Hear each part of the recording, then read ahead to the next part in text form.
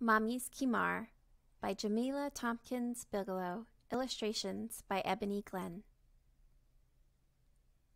A khimar is a flowing scarf that my mommy wears.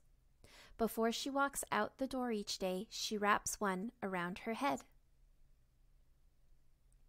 In mommy's closet, there are so many khimars, so many that I can't count them black ones, white ones, purple, blue, and red stripes, patterns, and polka dots too.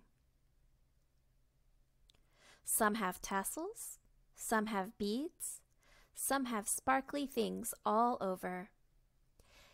And she has my favorite color, yellow. When I put on Mommy's Khimar, I become a queen with a golden train. Under the Khimar, my braids and twists form a bumpy crown. It's not easy to cover the many plaits Mommy puts in my hair. When I wear Mommy's khimar, I shine like the sun. I dive and become a shooting star into a pile of clouds. Of course, I make sure that Mommy doesn't see me. When I wear Mommy's khimar, I am a mama bird.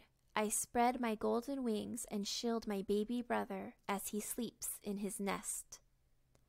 Mommy shakes her head, but her eyes are smiling. When I wear Mommy's Khimar, I am a superhero in a cape, dashing from room to room at the speed of light. Daddy snatches me up and I fly. Mommy can't stop laughing when his bristly beard tickles my cheek with a kiss. When I wear Mommy's khimar, Mommy is with me even when she's away. I close my eyes, and if I breathe in deeply, really deeply, I smell the coconut oil in Mommy's hair and the cocoa butter on her skin.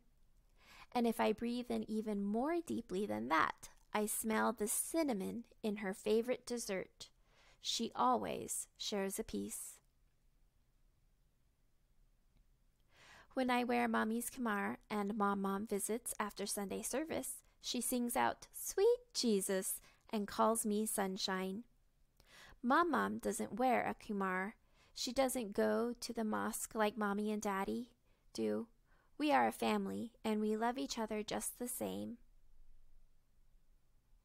When I go to the mosque wearing Mommy's khimar, the older women coo, Assalamu alaikum.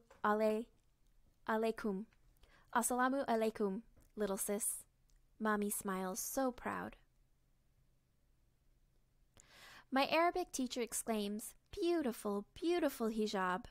Hijab is the word she uses for khimar. Sometimes I say hijab too.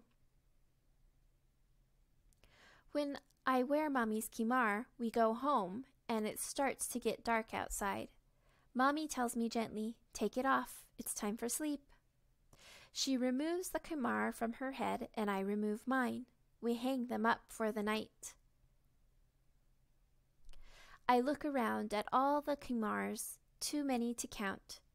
I stroke the yellow scarf one last time. I close my eyes and breathe in deeply, really deeply, and if I breathe in deeply enough, I can take Mommy's khimar with me.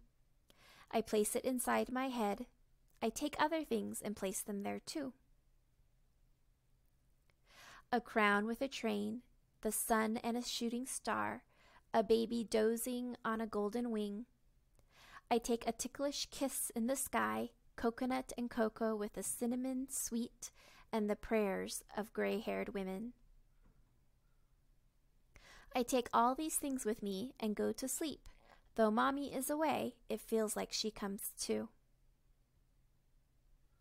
The end.